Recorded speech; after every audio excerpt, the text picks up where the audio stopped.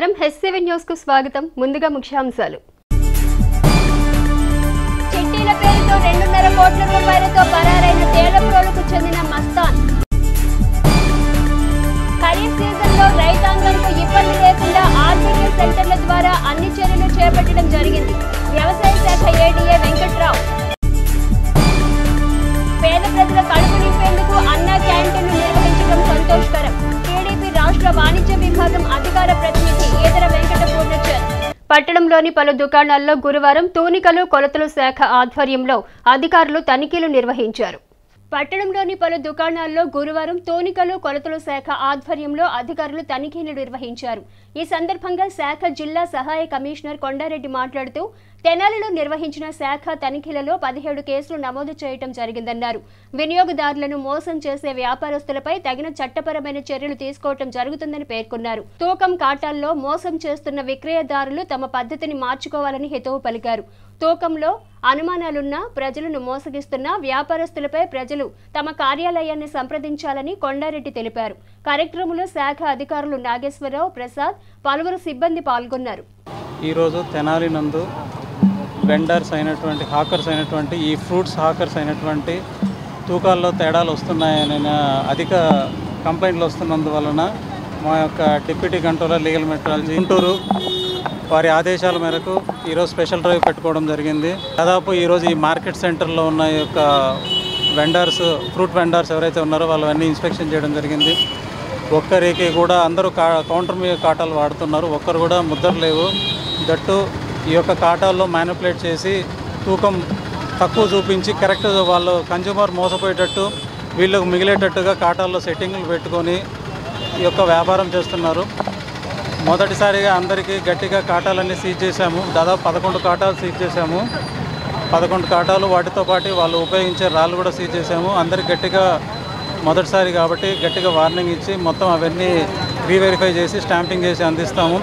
Next time ఈ మళ్ళీ ఇటువంటి తప్పులు కింద చేస్తే కఠిన చర్యలు ఉంటాయని చెప్పి వాళ్ళకందరికీ ఇన్స్ట్రక్షన్స్ ఇవ్వడం కూడా జరిగింది.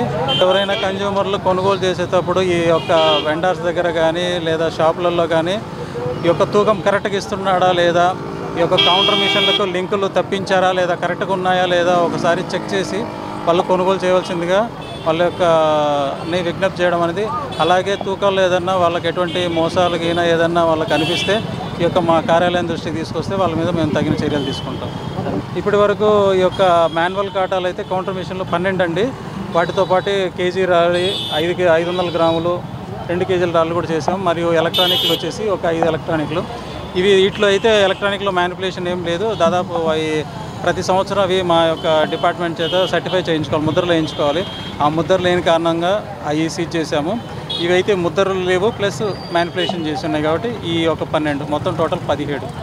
దాదాపు ఈరోజు మార్కెట్ ఫ్రూట్స్ వెజిటబుల్స్ అన్నీ దాదాపుగా చెక్ చేసాము ఇంకా ఏదన్నా వినియోగదారులు ఏదన్నా కన్జ్యూమర్స్ కొనుగోలు చేసిన కంప్లైంట్ ఉన్నా మా యొక్క దృష్టికి తీస్తే వాళ్ళ మీద యాక్షన్ తీసుకుంటాం. ఖరీఫ్ సీజన్లో రైతాంగం ఎక్కడా ఇబ్బంది పడకుండా సాగుకు అవసరమైన ఎరువులు విత్తనాలు అందుబాటులో ఉన్నాయని వ్యవసాయ శాఖ ఏడీఏ వెంకట్రావు తెలిపారు.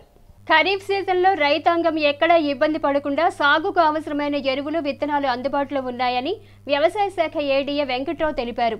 గురువారం ఆయన మీడియాతో మాట్లాడుతూ తెనాలి సబ్ డివిజన్ పరిధిలోని ఎనభై ఒక్క ఆర్బీకే సెంటర్ల ద్వారా రైతులకు అవసరమైన యూరియా కాంప్లెక్స్ ఎరువులు అందుబాటులో ఉంచడం జరిగిందని ఎవరూ ఆందోళన చెందాల్సిన అవసరం లేదని పేర్కొన్నారు. అలాగే డీఏపీని సిద్ధం చేయటం జరిగిందన్నారు. ఎక్కడా ఎరువులు విత్తనాల కొరత లేకుండా తగిన ముందస్తు చర్యలు తీసుకోవటం జరిగిందని ఏడీఏ వెంకట్రావు వివరించారు. రెగ్యులర్ ఏడీఏ తెనాలిగా ఎఫ్ఏసి చేస్తున్నాను. యాక్చువల్గా కొల్లిపర మండల అగ్రికల్చర్ ఆఫీసర్ కూడా చేస్తూ ఉన్నాను.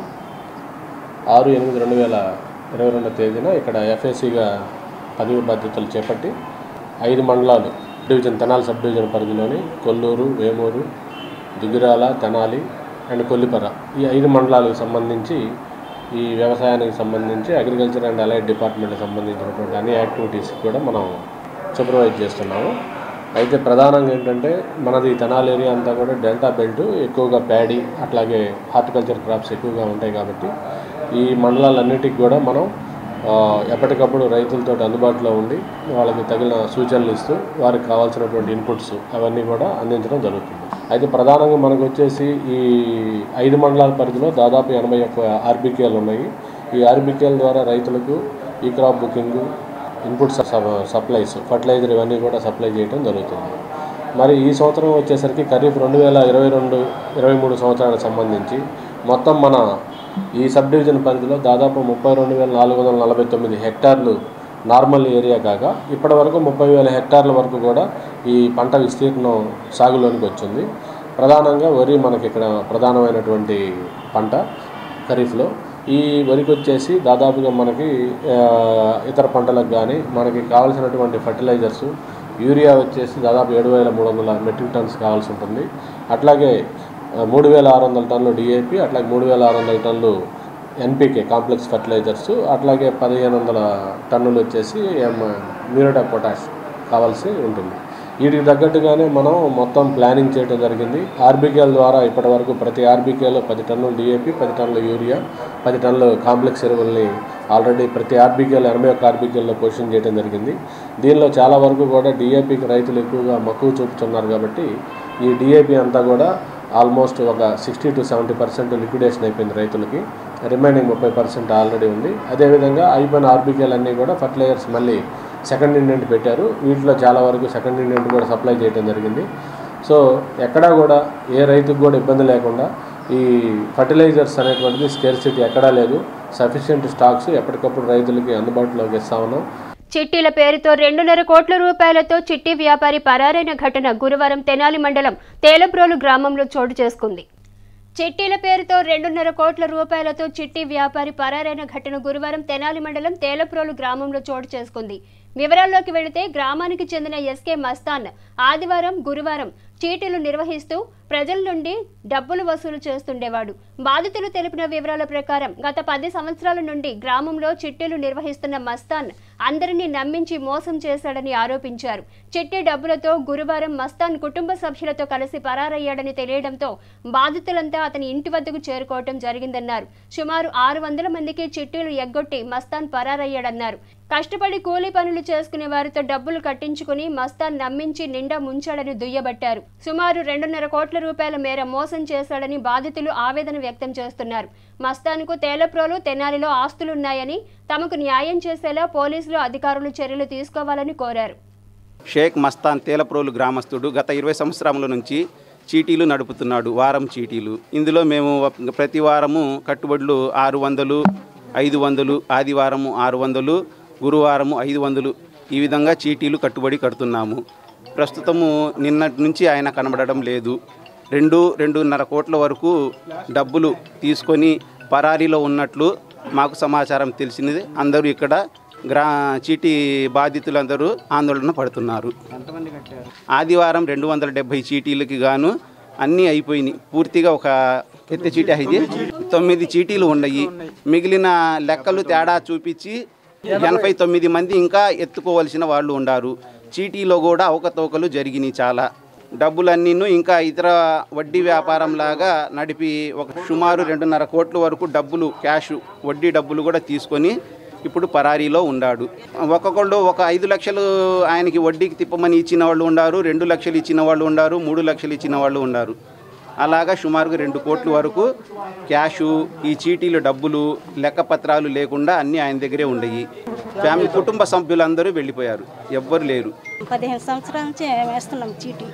అబ్బాయి కాడ ఐదు రూపాయలు కాడిని చేస్తున్నాం ఆ నమ్మకంగా ఐదు చీట్లు ఉండయి ఆదివారం రెండు చీట్లు ఏమో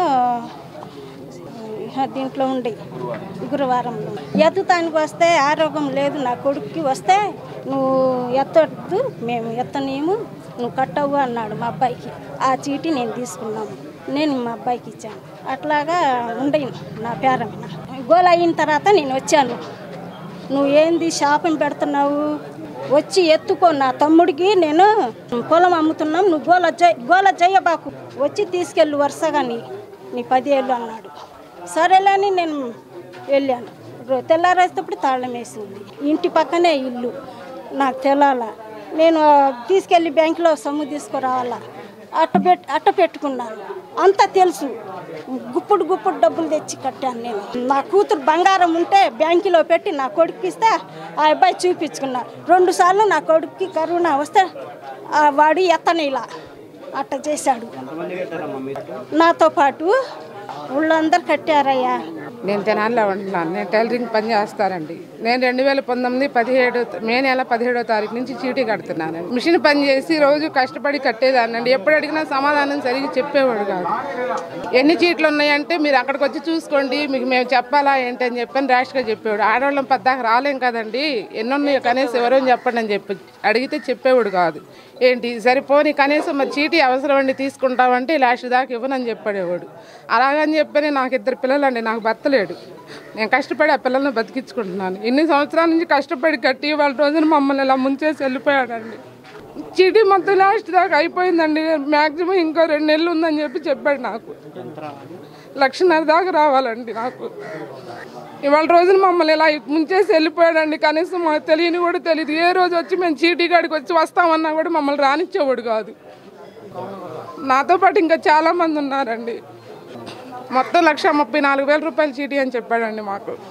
రాష్ట్ర ప్రభుత్వం అందిస్తున్న సంక్షేమ పథకాలతో ప్రతి ఇంటిలోనూ ఆనందం వెల్లువిరుస్తుందని మధ్యతరగతి ప్రజానికం ఆర్థిక సమస్య నుంచి గట్టెక్కి ఆనందంతో జీవిస్తున్నారని తెనాలి శాసనసభ్యులు అన్నాబత్తి శివకుమార్ గురువారం తెనాలి పట్టణంలోని ఏడో వార్డులో నిర్వహించిన గడప గడపకు మన ప్రభుత్వం కార్యక్రమంలో అన్నారు. గడప గడపకు మన ప్రభుత్వం కార్యక్రమాన్ని ఏడో వార్డు దేవీ చౌక్ నుండి గురువారం సాయంత్రం ప్రారంభించారు. Municipal vice chairman Malepati Hariprasad MLA Annabathni శివకుమార్కు ఘన స్వాగతం పలికారు. అనంతరం ఇంటింటికి వెళ్ళి ప్రభుత్వం అందించిన సంక్షేమాన్ని గురించి తెలియజేసి వారి సమస్యలు తెలుసుకున్నారు.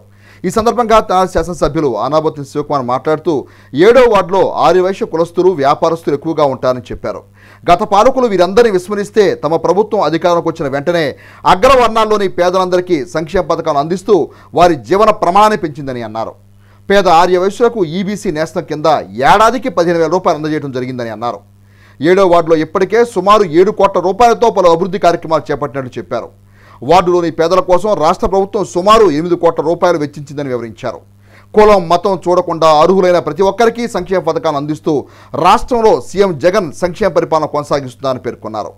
కార్యక్రమంలో Tenali పురపాసంగ chairperson Syed Khalid vice chairman Guntur Koteswararao రాష్ట్ర కృష్ణభజ poster corporation director Kaveti Nirmala కౌన్సిలర్లు ఆవుల కోటయ్య దాసరి వీరవసంతరావు గొడవర్తి సాయి హరిరామ్ షేక్ ఇస్మాయిల్ యాతాటి అనిల్ కొమరాబొత్తిన జైపాల్ వీర్లపాటి విజయలక్ష్మి వైఎస్ఆర్ కాంగ్రెస్ పార్టీ పట్టణ అధ్యక్షులు దేశు శ్రీనివాసరావు ఆర్యవైశ్య నాయకులు మద్దాలి శేషాచలం కొల్లా గురునాథ్ గుప్తా చుండూరు సాయి ఆలమూరి ఫణి సుబ్రహ్మణ్యం శనగపల్లి నాగేశ్వరరావు పొత్తూరి రాఘవ బ్రహ్మం నంబూరి నరేంద్ర రాము గుర్రం కిరణ్ మద్దాల మోహన్ మణి వెంకటేశ్వరరావు ఏ మహేష్ వైఎస్ఆర్ కాంగ్రెస్ పార్టీ నాయకులు హరిదాస్ గౌరీశంకర్ కుక్కల ముక్తేశ్వరరావు కుర్రా శ్రీను కాళేశవలి కటారి హరీష్ పోతావజ్జుల పురుషోత్తం శర్మ దేవరపల్లి కిషోర్ గోల్డ్ రహీమా అక్కిదాస్ కిరణ్ సిరికృష్ణ తదితరులు పాల్గొన్నారు.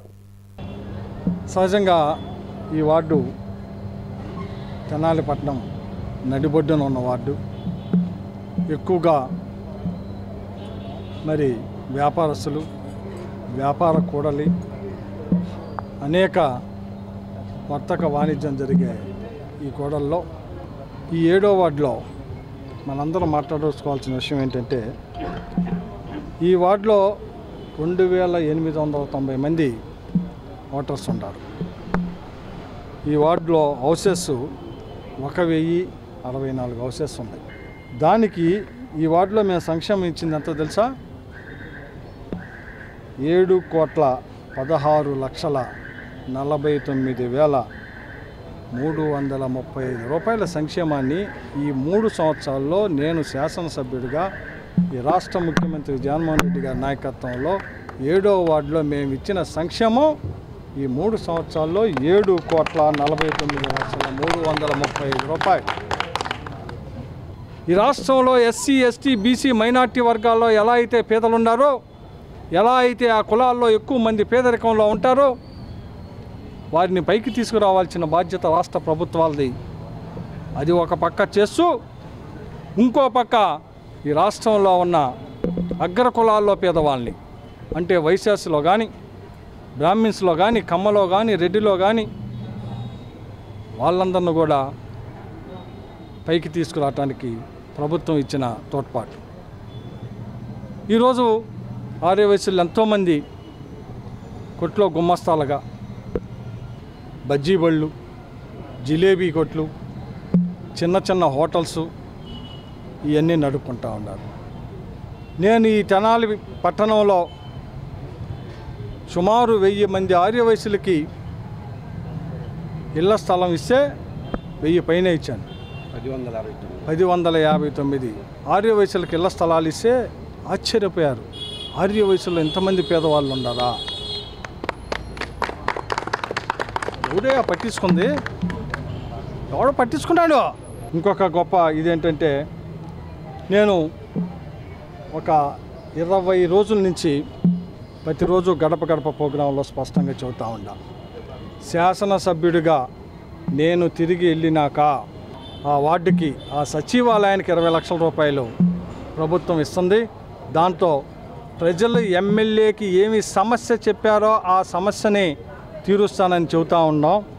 ఈరోజు నిన్నే ప్రభుత్వ జీవో కూడా ఇచ్చింది.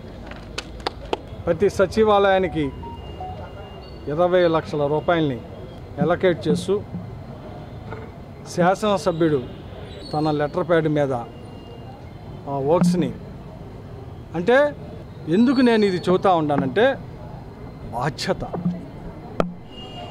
ఈ రాష్ట్ర ప్రభుత్వం ఈ రాష్ట్ర ముఖ్యమంత్రి ఈ రాష్ట్రంలో పనిచేసే ముఖ్యమంత్రి కింద పనిచేసే ఓ శాసనసభ్యుడిగా నేను మేము ప్రజలకి స్పష్టంగా ఏమైతే చెబుతున్నామో అది చేస్తున్నాం.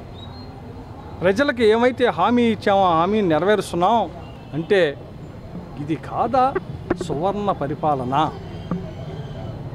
ఊరకనే ఐదు మీటర్లు కరెంటు మీటర్లుంటే వెరిఫికేషన్లో ఆమెకు ఫెన్షన్ పోతే తెలుగుదేశం వాళ్ళు వైఎస్ఆర్ పార్టీ ఫెన్షన్ తీశారని. ఇది కాదయ్యా. మీరున్నప్పుడు ఫంక్షన్స్ ఎంతమంది ఉంది? మేము వచ్చినాక ఫంక్షన్స్కి ఎంతమంది పెంచామో తీండి. తెలిసిద్ది. అది స్పష్టత. ఏ ఇంటో సంక్షేమం ఇచ్చాం ఆ సంక్షేమం ఇచ్చిన ప్రతి ఇల్లు బ్యాంక్ అకౌంట్లో పడ్డాయి.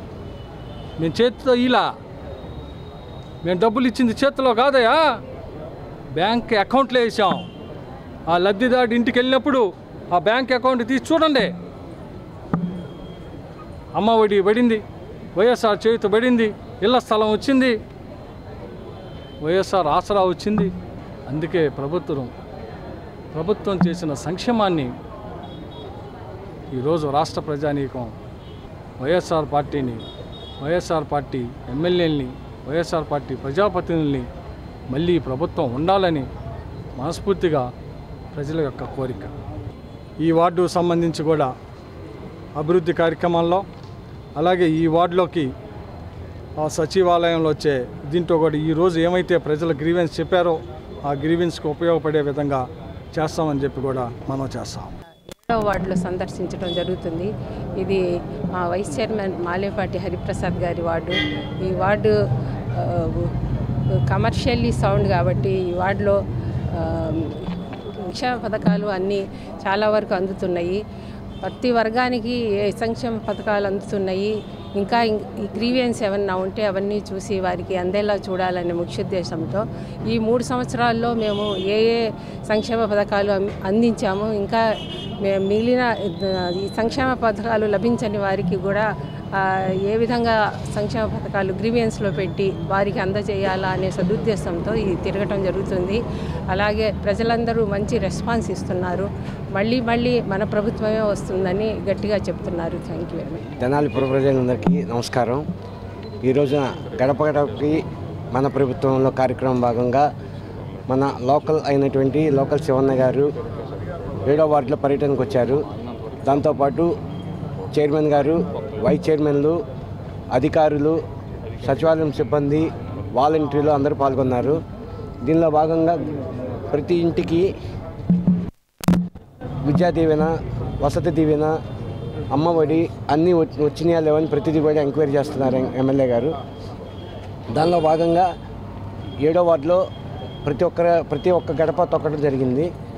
మంచి రెస్పాన్స్ ఉంది. కేంద్ర ప్రభుత్వం ప్రవేశపెట్టిన రెండు వేల ఇరవై రెండు విద్యుత్ సవరణ చట్టాన్ని రైతు సంఘాలు ప్రతిఘటించాలని ఆంధ్రప్రదేశ్ రైతు సంఘం రాష్ట్ర ఉపాధ్యక్షులు జొన్న శివశంకర్రావు పిలుపునిచ్చారు. గురువారం చిచ్చుపేట ప్రజా సంఘాల కార్యాలయంలో కేవీ సత్యనారాయణ అధ్యక్షతన కమిటీ సమావేశం జరిగింది. ముఖ్య అతిథి శివశంకర్రావు మాట్లాడుతూ రాష్ట్రాల హక్కులపై దాడి చేసే విధంగా విద్యుత్ చట్టం ఉందని చెప్పారు. చట్టం అమలైతే విద్యుత్ ప్రైవేట్ పరం అవుతుందని అన్నారు. పాల ఉత్పత్తులపై జీఎస్టీని ఐదు శాతం విధించడం వల్ల పాల వినియోగం తగ్గిపోవడంతో పాటు వినియోగదారుల మీద భారం పడుతుందని చెప్పారు. వ్యవసాయ చట్టాల ఉపశమన సందర్భంగా కేంద్ర ప్రభుత్వం కనీస మద్దతు ధర చట్టం తీసుకొస్తామని ఢిల్లీ రైతు పోరాటంలో పాల్గొన్న నలభై ఎనిమిది వేల మందిపై ఉన్న కేసును రద్దు చేస్తామని ఈ ఉద్యమం సందర్భంగా చనిపోయిన ఏడు వందల పదిహేను మంది రైతులకు పరిహారం ఇస్తామని చెప్పిన వాగ్దానాలను తుంగలో తొక్కిందని విమర్శించారు. జిల్లా ఉపాధ్యక్షుడు ములకా శివసామిరెడ్డి మాట్లాడుతూ గత ఖరీఫ్లో నష్టపోయిన రైతాంగానికి ఇంకా పరిహారం అందకపోవడం అన్యాయమని అన్నారు. రైతు భరోసా కేంద్రాల్లో తగినంత ఎరువులు అందకపోవడంతో రైతులు తీవ్ర ఇబ్బందులకు గురవుతున్నారని అన్నారు. విద్యుత్ చట్టాలకు వ్యతిరేకంగా ఈ నెల ఇరవై ఐదో తేదీన విజయవాడలో జరగనున్న అఖిలపక్ష రైతాంగం ధర్నాలో రైతులందరూ పాల్గొని విజయవంతం చేయాలని పిలుపునిచ్చారు. సమావేశంలో వెలగ ఆదినారాయణ పాపూరు శ్రీనివాసరావు ములకా శివకుమారి షేక్ హుస్సేనవరి బి గోపాల్ రెడ్డి తదితరులు పాల్గొన్నారు. సమావేశానికి ముందు విద్యుత్ చట్టాన్ని ఉపసంహరించుకోవాలని ఎగ్జిక్యూటివ్ ఇంజనీర్కు వినతి పత్రం అందజేశారు. భారతదేశంలో వ్యవసాయ రంగం చాలా తీవ్ర సంక్షోభంలో పుట్టుమిట్టాడుతూ ఉన్న పరిస్థితి. మద్దతు ధరలు లేక రైతులు ఆత్మహత్యలు కొనసాగుతూ ఉన్నాయి. ఉత్పత్తి ఖర్చులు ఏమన్నా విపరీతంగా పెరిగిపోతూ ఉన్నాయి. కాంప్లెక్స్ ఎరువుల రేట్లు గణనీయంగా పెరిగిపోతూ ఉన్న పరిస్థితి కనిపిస్తూ ఉంది. ఈ క్రమంలో వ్యవసాయం చాలా భారంగా రైతాంగం ఫీల్ అవుతూ ఉన్న పరిస్థితి మనకి కనిపిస్తూ ఉంది. ఈ క్రమంలోనే రైతాంగం మీద బుదిబండలాగా పాల ఉత్పత్తుల మీద జిఎస్టీని ఐదు శాతం పెంచడం అని చెప్పేసి అనేది రైతాంగానికి చాలా క్షేమరమైన మనోక్షోభకు గురి చేస్తూ ఉన్న పరిస్థితి. ఈ క్రమంలో పాల ఉత్పత్తిపై మీద జిఎస్టీని వెంటనే ఎత్తేయాలని చెప్పేసి రైతు సంఘాలుగా మేము డిమాండ్ చేస్తూ ఉన్నాం. నిన్న ఆగస్టు ఎనిమిదో తారీఖు నాడు విద్యుత్ సవరణల బిల్లు రెండు వేల ఇరవై రెండుని పార్లమెంట్లో ప్రవేశపెట్టడం జరిగింది చట్టరూపం తీసుకురావడానికి దీని మీద రైతు సంఘాలు పెద్ద ఎత్తున ఆందోళన చేస్తూ ఉన్నాయి. అలాగే పార్లమెంట్లో ప్రతిపక్షాలు మొత్తం కూడా ఏకంగా ఈ బిల్లును వ్యతిరేకిస్తూ ఆందోళన చేపట్టినాయి. ఈ క్రమంలో ప్రభుత్వం వెనక్కి తగ్గి కొంత సెలెక్ట్ కమిటీకి ఈ బిల్లును పంపించడం జరిగింది. రాబోయే శీతాకాల పార్లమెంట్ సమావేశాలు ఈ బిల్లును తీసుకురావడానికి ప్రభుత్వం పెద్ద ఎత్తున ప్రయత్నం కొనసాగిస్తూ ఉంది. ఏది ఏమైనా విద్యుత్ సంస్కరణల బిల్లు అని చెప్పేసి అనేది రైతాంగానికి ఒక ఉరితాడు లాంటిది. దీనివల్ల రాష్ట్రాల హక్కులుగా ఉన్న విద్యుత్ బిల్లు మొత్తం కూడా కేంద్ర ప్రభుత్వం ఆధీనం తీసుకుంటా ఉంది. రాష్ట్ర ప్రభుత్వాల సంక్షేమ కార్యక్రమాలు మొత్తం కూడా ఏంటంటే ఏదైతే ఉచిత విద్యుత్ ఇస్తా ఉన్నాయో సబ్సిడీ ఇస్తా ఉన్నాయో ఆ సబ్సిడీలు మాత్రం కూడా మంగళం పాడాలని చెప్పేసి కేంద్ర ప్రభుత్వం హుకుం జారీ చేస్తూ ఉంది. పదహారు రాష్ట్ర ప్రభుత్వాలు ఇవాళ విద్యుత్ సవరణ బిల్లు వ్యతిరేకిస్తూ ఉన్నాయి. మన పక్కన ఉన్న తెలంగాణ కానీ కేరళ కానీ తెలంగాణ మన తమిళనాడు రాష్ట్ర ప్రభుత్వాలు మొత్తం కూడా ఏంటంటే విద్యుత్ సవరణ బిల్లు వ్యతిరేకిస్తూ ఉన్న ఈ క్రమంలో. మన రాష్ట్ర ప్రభుత్వము దీన్ని తీసుకొని శ్రీకాకుళంలో పైలట్ ప్రాజెక్టుగా దీన్ని ప్రారంభించారు. రాబోయే ఆరు నెలల కాలంలో ఆంధ్ర రాష్ట్రం మొత్తం కూడా విద్యుత్ సంస్కరణల ప్రభావంలో వ్యవసాయ బోర్లకి మీటర్లు పెట్టాలని చెప్పేసి అవి కూడా ఏంటంటే ఎక్స్పర్ట్స్ చేత చేత పంపిణీ చేయించాలని చెప్పేసి అని చెప్పేసి ప్రభుత్వం పన్నాగం పడుతూ ఉన్న పరిస్థితి. ఈ మీటర్లు వ్యవసాయ బోర్లకు కానీ మీటర్లు పెడితే రాబోయే కాలంలో రైతులు తీవ్ర తీవ్రమైన ఇబ్బందులకు గురయ్యే పరిస్థితి కనిపిస్తూ ఉంది. రాబోయే కాలంలో ఎవరు ఎవరు అధికారులకు వస్తారో మనకు తెలియని పరిస్థితుల్లో కేంద్ర ప్రభుత్వము బిల్లు ప్రకారము విద్యుత్ మొత్తం కూడా రాష్ట్రాల ఆధీనం నుంచి కేంద్ర ప్రభుత్వ ఆధీనంలోకి వెళ్ళే సందర్భాలలో ఉచిత విద్యుత్ ఇవ్వాలా వద్దనేది కేంద్ర ప్రభుత్వ నిర్ణయంగా కొనసాగుతుంది. ఆ క్రమంలో రాష్ట్రాల పరిస్థితి ఏ విధంగా ఉంటుందో అర్థం కాని పరిస్థితుల్లో ఈ యొక్క ఉచిత విద్యుత్ పథకం ఏమైపోతుందో అర్థం కాని పరిస్థితుల్లో రైతాంగం చాలా ఇబ్బందులు పడే పరిస్థితి కనిపిస్తూ ఉంది. గతంలో మేము అధికారంలోకి వస్తే రెండు వేల ఇరవై రెండు నాటికి రైతుల ఆదాయం రెట్టింపు చేస్తామని మోడీ గారు ఎన్నికల ముందు రెండు వందల సభల్లో దేశమంతా జరిగి ప్రచారం ఆర్భాటం చేశారు. కానీ ఎన్నికల తర్వాత మేము రైతుల ఆదాయం రెట్టింపు సంగతి దేవుడి ఎరుగు ఇవాళ రైతుల ఆత్మహత్యలు రెట్టింపు అయ్యే విధంగా ప్రభుత్వ విధానాలని గత సంవత్సరం దాదాపు పదమూడు నెలల పాటు ఢిల్లీ పరిసర ప్రాంతాల్లో ఐదు వందల రైతు సంఘాలు చ- కఠోరమైన చల్లు దీక్షలు చేస్తే ఈ ప్రభుత్వం ఏడు వందల పదిహేను మంది చనిపోతే నలభై ఎనిమిది వేల మంది రైతుల మీద రైతు సంఘ నాయకుల మీద కేసులు పెడితే ఈ బిల్లు ఉపసంహరించే నల్ల చట్టాలు ఉపసంహరించే సందర్భంలో ఈ రైతుల మీద కేసులు రద్దు చేస్తామని అట్లాగే కనీస మద్దతు ధర చట్టం అందరి అన్ని రైతు సంఘాలతో కూడిన చట్టం కమిటీ ఒకటి ఏర్పాటు చేసి రైతులకి ప్రయోజనకరంగా తీసుకొస్తామని హామీ ఇచ్చారు కేంద్ర ప్రభుత్వం. కానీ ఇప్పుడు మొత్తం హామీని తొంగలో దొక్కి తనకు అనుకూలమైన వాళ్ళని ఈ కనీస మద్దతు ధర చట్టం సభ్యులుగా చేర్చడం అంటే మొత్తం రైతాంగాన్ని కార్పొరేటు కంపెనీ వ్యవసాయంకి తీసుకెళ్ళటమే ఈ మోడీ ప్రభుత్వం లక్ష్యంగా కనపడుతుంది. విద్యుత్ బిల్లుని మేము ఉపసంహరించుకుంటామని కూడా వ్రాతపూర్వకంగా రైతు సంఘాల సమన్వయ సమితికి రాసిచ్చారు. కానీ దాన్ని కూడా ఇప్పుడు తొంగలో దొక్కి మళ్ళీ విద్యుత్ బిల్లుని మన పార్లమెంట్లో పెట్టడం అనేది చూస్తే ఈ యొక్క వ్యవసాయ రంగాన్ని ఏ విధంగా ఈ ప్రభుత్వం రైతాంగానికి ఉరితాళ్ళు బిగించడానికి ప్రయత్నం చేస్తుందో అనేది అర్థమవుతుంది. అంతేకాదు ఇప్పటికీ దాదాపు ఖరీఫ్ సీజను గత సంవత్సరంలో పంట నష్టపోయిన రైతులకి ఇప్పటి వరకు కూడా నష్టపరిహారం అందలేదు. మొన్న ఈ మధ్యనే ముఖ్యమంత్రి గారు బటన్ నొక్కారు అని చెప్తున్నారు అధికారులు వ్యవసాయ అధికారులు. కానీ ఒక నేలపాడు గ్రామంలో మేము రైతు సంఘం పోయి పరిశీలిస్తే దాదాపు నలభై ఏడు మంది రైతులకి ఐఎఫ్సి కోడ్ పొరపాటు ఉంది. దాన్ని సరిచేసామని చెప్పి నలభై మంది పేర్లు లిస్టు ఒకటి ఆర్బీకేలో ఇచ్చారు. కానీ ఈ నలభై మందికి ఇప్పటికి కూడా ఒక్కడికి కూడా ఒక రూపాయి ఇవ్వలేదు. తెలుగుదేశం పార్టీ ప్రతిష్టాత్మకంగా తీసుకున్న సభ్యత్వ నమోదు కార్యక్రమాన్ని పార్టీ శ్రేణులు వేగవంతం చేయాలని మాజీ మంత్రి తెలుగుదేశం పార్టీ పొలిట్ బ్యూరో సభ్యులు నక్క ఆనందబాబు అన్నారు. మాజీ మంత్రి తెలుగుదేశం పార్టీ పొలిట్ బ్యూరో సభ్యులు నక్క ఆనందబాబు గుంటూరులోని తన క్యాంపు కార్యాలయంలో సభ్యత్వ నమోదుపై వేమూరు నియోజకవర్గ తెలుగుదేశం పార్టీ శ్రేణులకు వర్క్షాప్ నిర్వహించారు. ఈ సందర్భంగా మాజీ మంత్రి ఆనందబాబు సభ్యత్వ నమోదుపై పార్టీ కార్యకర్తలకు దిశానిర్దేశం చేశారు. ఈ కార్యక్రమాన్ని గ్రామ గ్రామాన ప్రతి ఇంటికి తీసుకువెళ్ళి తెలుగుదేశం పార్టీ సభ్యత్వ ఆవశ్యకతను వివరించాలని అన్నారు. ప్రతి ఒక్కరూ ఒక నిర్దిష్ట ప్రణాళికతో కార్యక్రమం విజయవంతం చేయాలని సూచించారు. కార్యక్రమంలో వేమూరు నియోజకవర్గ తెలుగుదేశం పార్టీ నాయకులు పాల్గొన్నారు. ప్రత్యేకంగా ఎందుకు ఈ కార్యక్రమం ఏర్పాటు చేసుకున్నామంటే సభ్యత్వాలు పార్టీ సభ్యత్వ నమోదు చాలా నిదానంగా నడుస్తూ ఉంది మన దగ్గర. సభ్యత్వం మొదలయ్యి ఆరో నెల ఇది. ఇంత నిదానంగా నడిచినటువంటి సందర్భాలు గతంలో ఎప్పుడూ లేవు. పార్టీ కమిటీలు ఇతరతర కార్యవర్గాలన్నీ కూడా మీరందరూ ఉత్సాహం చూపిస్తూ ఉన్నారు. పదవులు మాకు మాకని రాస్తున్నారు కానీ పనిచేసే విధానంలో పార్టీ మనకి కేంద్ర పార్టీ అప్పచెప్పిన పనులు మనం షేర్ చేసుకొని ముందుకెళ్ళడంలో వెనకబడి ఉండటం వల్లే ఈ పరిస్థితి అని నేను కూడా భావిస్తా ఉన్నాను కుప్పం చంద్రబాబు నాయుడు గారి నియోజకవర్గం దగ్గర దగ్గర అరవై వేలు డెబ్బై వేలు అయినాయి డెబ్బైతో అంటే మంగళగిరి కూడా అంతే. అయింది అంటే అదంటే చంద్రబాబు నాయుడు గారు లోకేష్ గారు కదని మీరు అనొచ్చు. మన పక్కనే ఉన్న పాపట్ల నియోజకవర్గం కూడా పదిహేను వేలు అయింది సభ్యత్వం. మనం నాలుగు వేల ఆరు వందల్లో ఉన్నాం. అంతేనా? నాలుగు వేల ఆరు వందల యాభై రెండులో ఉన్నాం. మనం పెద్ద నాయకులు అనే ఫీలింగా లేకపోతే నాయకులు అయిపోయాం అనుకుంటున్నారో నాకు తెలియదు బాపట్ల నియోజకవర్గం చేసిన స్థాయిలో మనం చేయలేకపోయామంటే అది మన అలసత్వం అని నేను అనుకుంటున్నాను తన పక్కన బాపట్లోడు పదిహేను వేలు పోతే మనం ఇంకా ఐదు వేలలో ఉన్నాం నాలుగున్నర వేలు. కాబట్టి ఇవన్నీ కూడా మనం కొన్ని పనులు ఆపుకొనైనా సరే పూర్తి సమయం దీని మీద వెచ్చించి వెళ్ళామండి ఎవరు పట్టించుకోలేదండి ఎవరు మాట్లాడలేదండి అవి కాదు మీరందరూ నాయకులు. మీ మీ స్థాయిలో మీరు లీడర్లు. అది గుర్తించండి ముందు. అది మర్చిపోతున్నారు. పని విషయం వచ్చేసరికి పని మిగతా విషయాల్లో మేము నాయకులు అనేది మీకు గుర్తుంటుంది. పని చెప్పినప్పుడు మీరు నాయకుడు అనేది గుర్తు గుర్తు మర్చిపోయి అవతలాడు మీరు చెప్తున్నారు. పని చేయాల్సి వచ్చే టైంలో ఇక్కడ ఏదైనా ఫెయిల్యూర్ ఉంటే నువ్వు నాయకుడు అనేది నువ్వు మర్చిపోతున్నావు ఆ విషయంలో. మిగతా టైంలో మాత్రం నువ్వు మొత్తం జిల్లా మొత్తం నువ్వే నాయకుడు అంటున్నావు రాష్ట్రం అంతా నువ్వే నియోజకవర్గం అంతా నీదే తిరిగేస్తున్నావు. ఇవాళ ఎవరు పని చేస్తే వాళ్ళదే భవిష్యత్తు అది గుర్తుపెట్టుకోండి. ఖచ్చితంగా సిన్సియర్గా కష్టపడండి. ఖచ్చితంగా దానికి ప్రతిఫలం ఉంటుంది గుర్తింపు ఉంటుంది గౌరవం ఉంటుంది.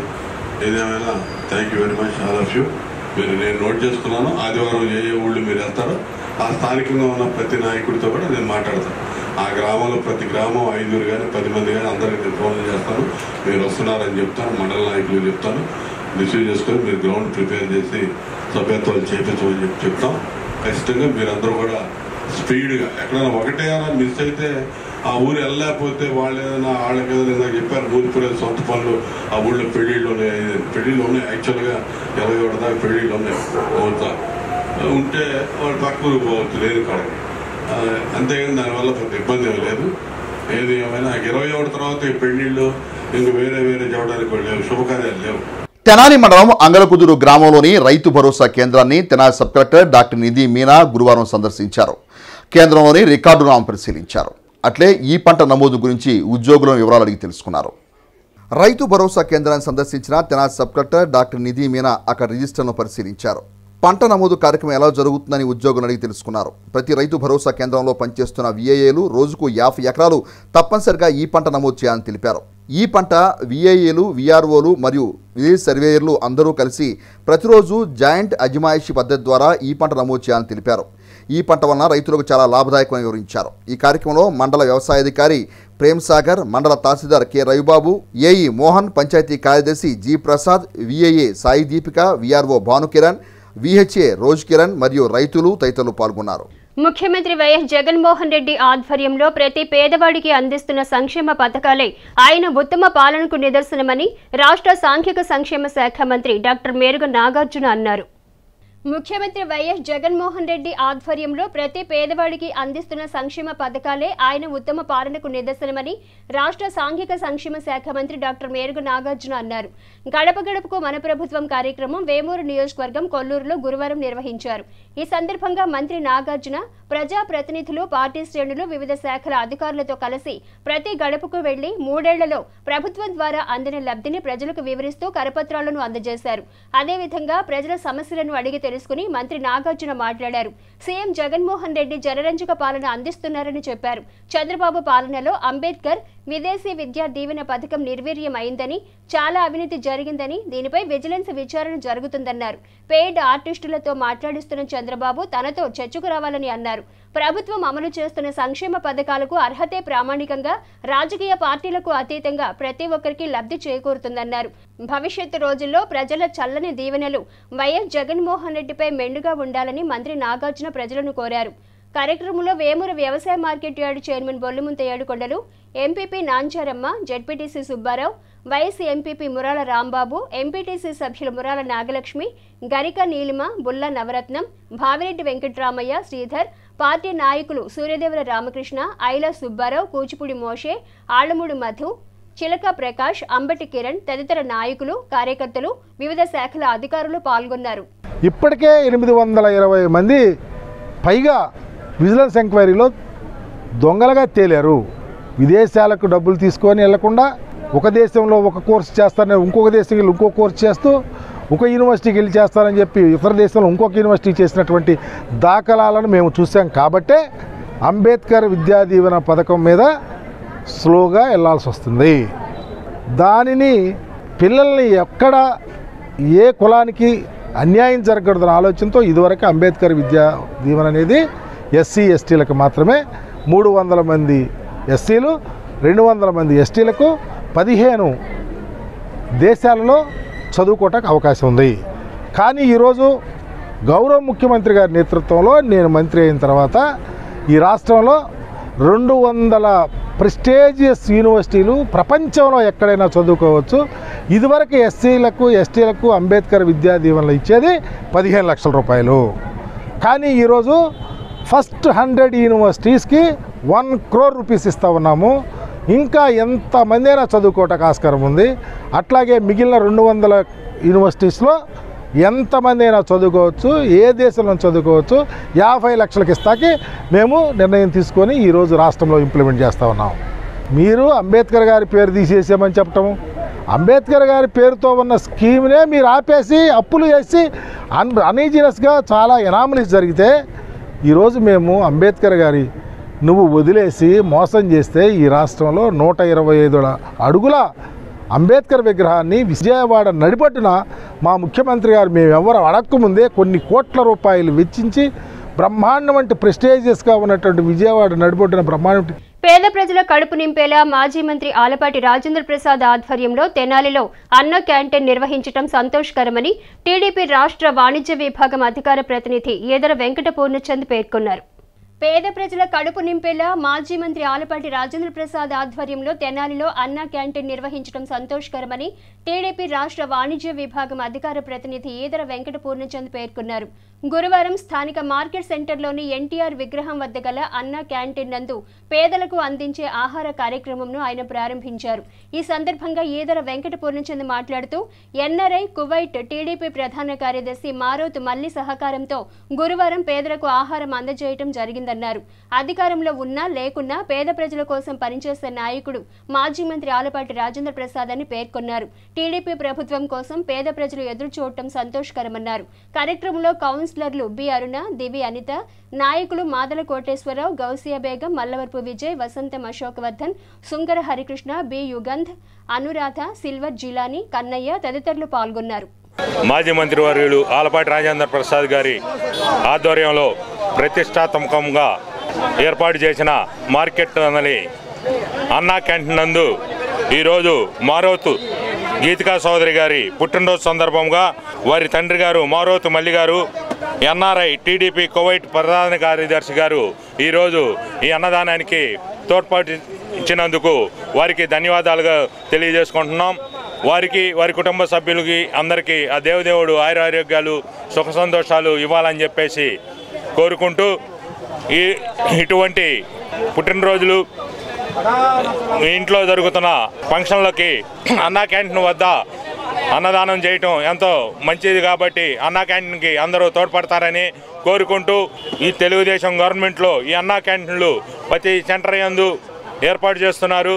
రోజు కంటిన్యూగా దరిదాపు ఐదు వందల మందికి ఇక్కడ అన్నదానం జరుగుతుంది. ఈ అన్నా క్యాంటీన్ అన్నగారి ఆశీస్సులతో నారా చంద్రబాబు నాయుడు గారు ప్రతిష్టాతంగా రాష్ట్రం మొత్తం అన్నా క్యాంటీన్లు ఏర్పాటు చేశారు. తెనాయిలోని శ్రీ లక్ష్మీ పద్మావతి సమేత శ్రీ వెంకటేశ్వర స్వామి వారి వైకుంఠపుర దేవస్థానం నందు ఉత్సవమూర్తులకు గ్రామోత్సవమూర్తులకు వెండితో చేసిన తొడుగులకు రూపకల్పన చేస్తున్నట్లు ఆలయ కార్యనిర్వాధికారి తిమ్మానాయుడు పేర్కొన్నారు. గురువారం తెనాలి వైకుంఠపురం దేవాలయంలో నూతనంగా సిద్ధం చేసిన వెండి ఉత్సవమూర్తుల దాతల వివరాలను ఆలయ కార్యనిర్వాధికారి తిమ్మానాయుడు తెలియజేశారు. కార్యనిర్వాహక సభ్యులుగా పనిచేసిన దాతల సహకారంతో అరవై ఐదు కిలోల వెండి సింహాసనాన్ని తయారు చేయించినట్టు వివరించారు. కార్యక్రమంలో భాగంగా ఉభయ దేవేరులతో నూతన ఉత్సవ విగ్రహాలు నూతన రజత సింహాసనం సంప్రోక్షణ పూజలు నిర్వహిస్తున్నట్టు వివరించారు. ఆలయంలో శుక్రవారం నుండి ఇరవై ఒకటో తేదీ వరకు ప్రత్యేక పూజ నిర్వహించినట్టు తెలిపారు. తెనాలి బ్రాహ్మణ సంఘ కార్యనిర్వాహక కార్యదర్శి పోతావజ్జల పురుషోత్తం శర్మ మాట్లాడుతూ ట్రస్ట్ బోర్డు సభ్యులుగా పనిచేసిన వంగల మాధవరావు ఆరాధ్యుల నారాయణ లింగినేని సాంబశివరావు డోగుపర్తి నాగేంద్రుడు శ్రీనివాసరావు సుబ్రహ్మణ్యం ఎల్ఐసి ఉద్యోగులు టి. సురేష్ దాతృత్వంతో అత్యంత అద్భుతంగా వెండి సింహాసనం రూపొందించడం వివరించారు. వంగల మాధవరావు మాట్లాడుతూ తన తల్లి ఇచ్చిన ప్రోత్సాహంతో ఈ కార్యక్రమం చేపట్టడం జరిగిందని దాతల సంఖ్య పెరిగి పెద్దది కావటం ఆనందదాయకంగా ఉందని అన్నారు. సమావేశంలో ఆలయ అర్చకులు అలహరి రవికుమార్ లింగినేని సాంబశివరావు ఆరాధ్యుల వీరనారాయణ తదితరులు పాల్గొన్నారు. ఈ నెల ఇరవై ఒకటో తేదీన వైకుంఠపుర ఆలయ ప్రాంగణంలో ఉదయం తొమ్మిది గంటలకు నూతన విగ్రహ ప్రతిష్టాపన పది గంటలకు స్వామివారి కళ్యాణోత్సవం పన్నెండు గంటలకు అన్న సంతర్పణ నిర్వహించనున్నారని తెలిపారు. శ్రీ లక్ష్మీ పద్మావతి సమేత శ్రీ వెంకటేశ్వర స్వామి దేవస్థానం నాకు అభివృద్ధిలో భాగంగా ట్రస్ట్ బోర్డు మాజీ సభ్యులైనటువంటి శ్రీ వంగల మాధవరావు గారు మరియు ఆరాధ్యుల నారాయణ గారు మరియు సాంబశివరావు గారు గార్ల సహకారంతో మరియు దేవస్థాన అర్చకుడు అయినటువంటి అలహరి రవికుమార్ గారి యొక్క కృషి మరియు వీరి బృందానికి సహాయ సహకారాలు అందించినటువంటి పురుషోత్తం గారు మరియు సురేష్ గారి యొక్క సహకారంతో ఈరోజు దేవస్థానమునకు ఒక బృహత్తరమైన కార్యక్రమాన్ని ఏర్పాటు చేయడం జరిగింది.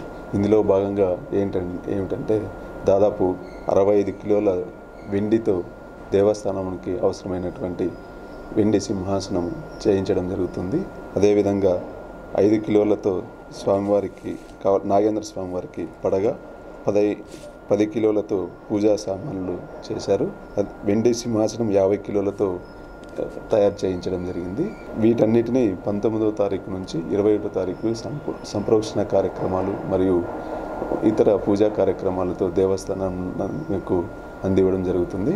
అదేవిధంగా దేవస్థానంలో ఉన్నటువంటి దేవస్థానంకి అవసరమైనటువంటి ఉత్సవమూర్తులను కూడా తెనాలి పట్టణ వాస్తవ్యులైనటువంటి మల్లికార్జునరావు గారు మరియు వీర వీరరాఘవ గారి కుటుంబ సభ్యులు అందివ్వడం జరుగుతుంది.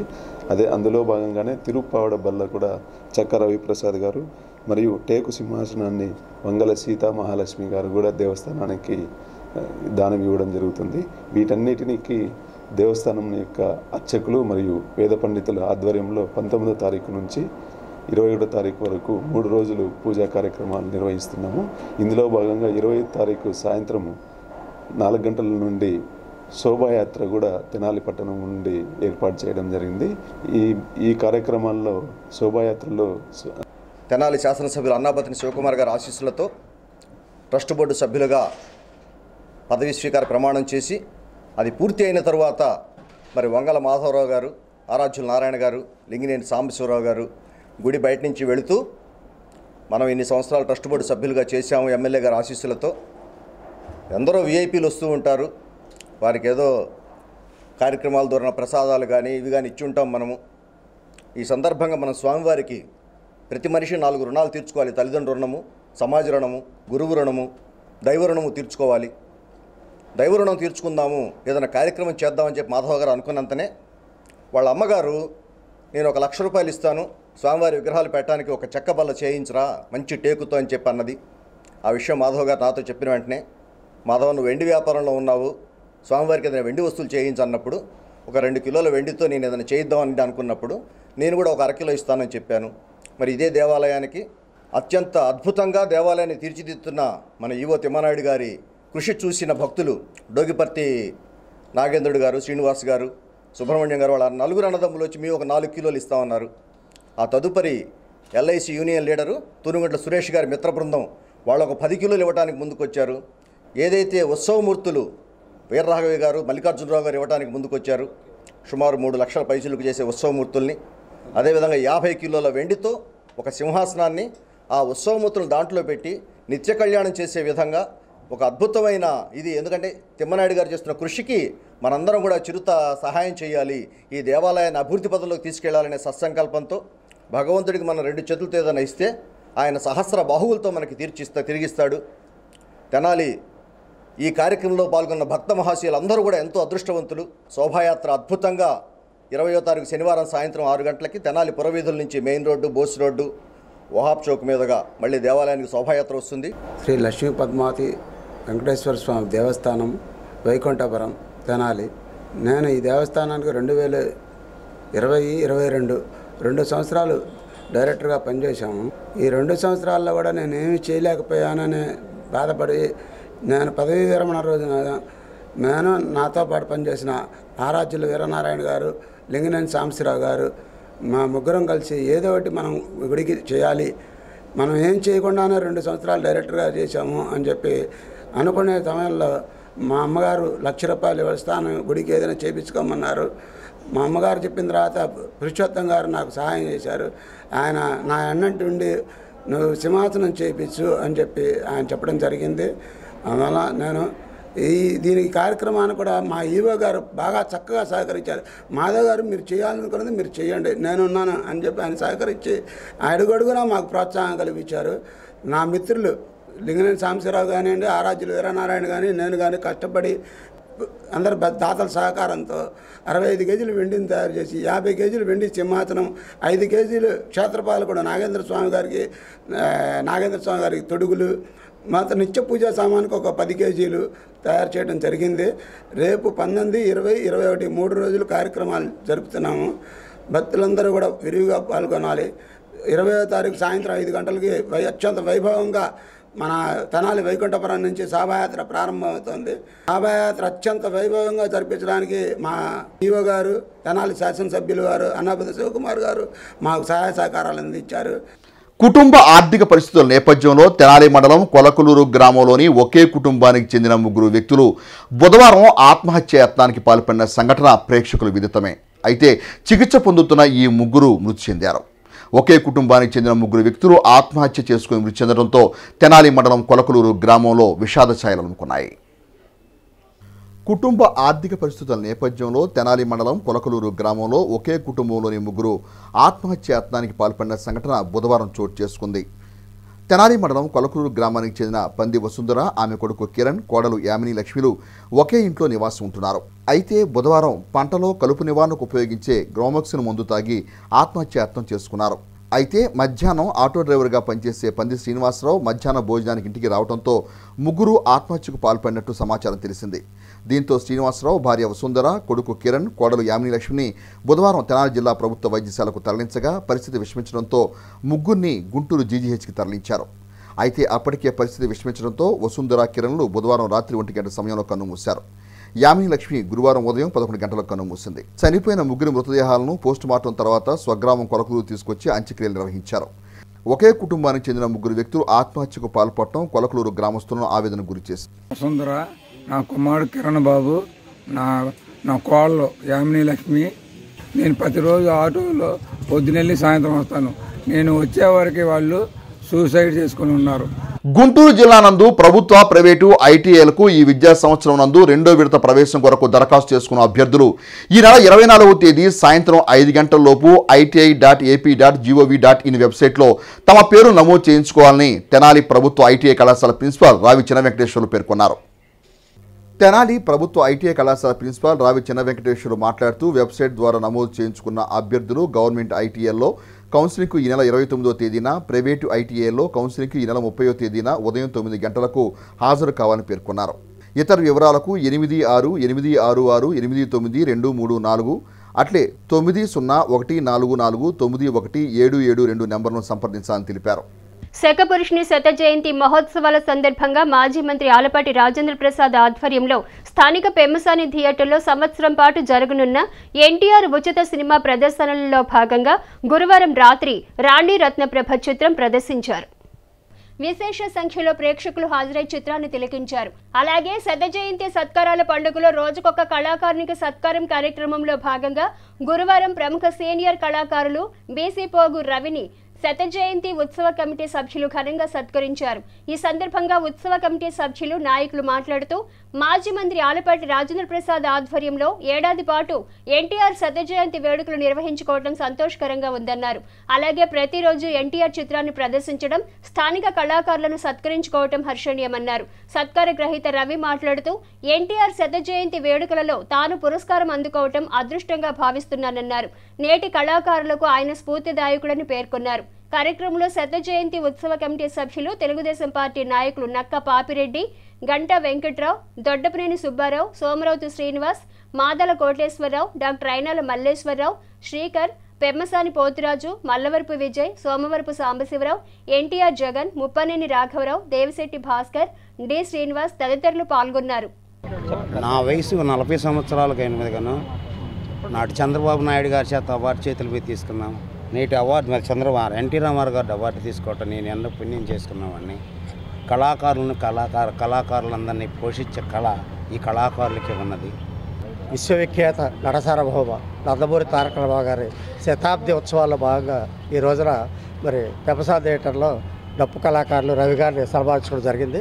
నిజంగా మరి ప్రపంచంలో ఎక్కడ లేని విధంగా ఒక కళాకారుడు చనిపోతే ఆయన యొక్క పేరు మీద సంవత్సరం పాటు శతాబ్దోత్సవాలు చేయటం అనేది చాలా గొప్ప విషయం. ఇలాంటి గొప్ప కార్యక్రమాలు నిర్వహిస్తున్నటువంటి మరి గో- మన మనందరి నాయకులు మరి అలాగే తెలుగుదేశం పార్టీ మాజీ మంత్రివర్యులు ఆలపాటి రాజప్రసాద్ గారికి ప్రత్యేక ధన్యవాదాలు తెలియజేస్తున్నాడు అలాగే మరి ఈ థియేటర్ అనుమతించి మరి ఈ కార్యక్రమానికి జరుపుకోవడానికి అవకాశం ఉన్నటువంటి థియేటర్ యాజమాన్యం పోతురాజు గారికి ధన్యవాదాలు తెలియజేస్తున్నాడు తెరాలి ప్రజలందరూ కూడా ఈ అన్నగారి సినిమా ప్రతిరోజు విశ్వ ప్రజలు చూసి తరించాలని చెప్పి అందరూ కోరుకుంటూ ప్రతి ఒక్కరికి నా ధన్యవాదాలు తెలియజేస్తాను. తెనాలి మండలం నందివెలుగు వంతెన వద్ద జరుగుతున్న ప్రమాదాలను నివారించేందుకు చర్యలు తీసుకోవాలని తెనాలి ఆర్టీసీ డిపో మేనేజర్కు మేము సైతం స్వచ్ఛంద సంస్థ సభ్యులు గురువారం వినతిపత్రం అందజేశారు.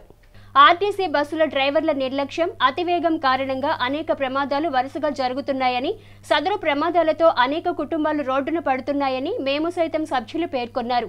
నందివెలుగు జంక్షన్ వద్ద బస్సులు వేగం తగ్గించి నడపాలని మళ్ళీ మళ్ళీ ప్రమాద ఘటనలు జరగకుండా శాఖాపరమైన చర్యలు తీసుకోవాలని డిపో మేనేజర్ని కోరారు.